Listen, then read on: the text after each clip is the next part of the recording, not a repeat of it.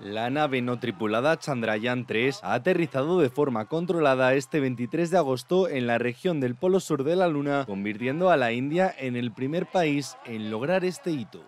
El interés por esta zona está relacionado con las supuestas reservas de hielo de agua del Polo Sur que podrían sustentar puestos de avanzado humanos y suministrar propulsor para naves espaciales que se dirijan a Marte y a otros destinos distantes. Este mismo es el objetivo de las futuras misiones tripuladas del programa Artemis de la NASA. La India se convierte además en la cuarta nación del mundo, junto con Estados Unidos, Rusia y China, en marcar su presencia en la Luna y en 2019 intentó llegar al Polo Sur lunar con la nave Chandrayaan 2, pero perdió comunicación antes de tocar el suelo. Este navío consta de un módulo lander autóctono de 1,7 toneladas, un módulo de propulsión de 2,1 toneladas y un rover de 26 kilos con el objetivo de desarrollar y demostrar las nuevas tecnologías necesarias para las misiones interplanetarias. Respecto a las cargas útiles del rover, se cuenta un espectrómetro de rayos X de partículas alfa y un electroscopio de descomposición industrial